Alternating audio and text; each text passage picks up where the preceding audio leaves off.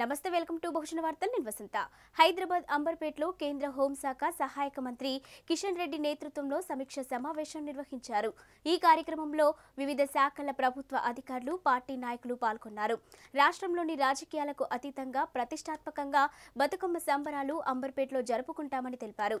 బతుకమ్మ పండుగకు అన్ని శాఖల పార్టీల సహకారం కావాలని దసరా నవరాత్రుల సందర్భంగా దేవాలయాల వద్ద పరిసరాలు పరిశుభ్రంగా ఉండేటట్లు చర్యలు తీసుకోవాలని సూచించారు. అదేవిధంగా మనం తొట్లు కడతాం. ఒక రోజు కట్టినా తొట్టు స్థలం మన దగ్గర ఉండదు. తొట్లకు స్థలం. ఒక చివరి రోజు కట్టినా కాస్త అంతే. కాబట్టి ఇది ముందే కట్టేస్తే ముందే వాడుకుంటాం. అది. కాబట్టి తొట్లు కట్టడంలో మనం ఏం కంటి చేయాల్సిన అవసరం లేదు ఆలస్యం చేయాల్సిన అవసరం లేదు. కాబట్టి ఆ తొట్ల విషయంలో కూడా కొద్దిగా జాగ్రత్త తీసుకోవాలి. గతంలో నుంచి కూడా చాలా అద్భుతమైన ఏర్పాట్లు చేస్తాం ఈసారి కూడా ఆ మూడు రోజుల కార్యక్రమం ప్లస్ టెంపుల్ దగ్గర. కార్యక్రమాలు కూడా మరి ఎప్పుడైనా మంచి చేస్తుంటారో ఈసారి కూడా అదే విధంగా చేయాలి.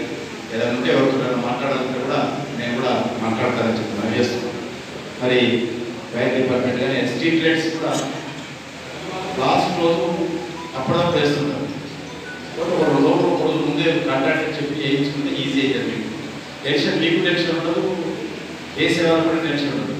ఒకటి అది కూడా దృష్టిలో పెట్టుకొని ఆ యొక్క యాక్టివిటీ కూడా చేయాల్సిన అవసరం చేస్తున్న సందర్భంగా. ఎందుకంటే నవరాత్రులు మనకు తెలుసు బతుకమ్మ పండుగ నాడు కూడా మరి చాలా వర్షం కురిసిన సందర్భాలు ఉన్నాయి కాబట్టి ముందు జాగ్రత్తగా ఎక్కడికక్కడ అన్ని డిపార్ట్మెంట్లు కూడా మరి కోఆర్డినేషన్తో అక్కడ ఏదైనా వర్షం వస్తే కూడా మరి ముందు alert గా ఎందుకంటే కొన్ని మనకి శానిటేషన్ కానివ్వండి అక్కడ ఉన్న వాటర్ ఏదైనా శానిటేషన్ వాటర్ మనకి ఎక్కడికక్కడ అడ్డంకులు లేకుండా మరి అవి వెళ్ళే విధంగా మన